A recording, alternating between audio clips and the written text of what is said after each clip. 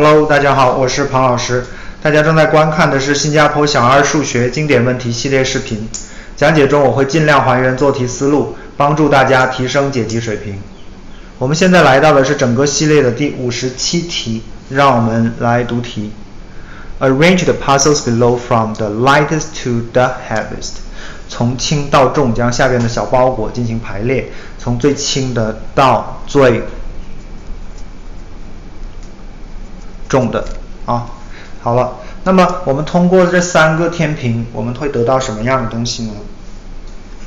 通过第一个天平，我们知道 A 是一定是要比 B 要重的。通过第二个天平呢，我们得到的是 C 要比 B 要重。然后呢，再通过第三个天平，我们发现是 C 要比 A 要重。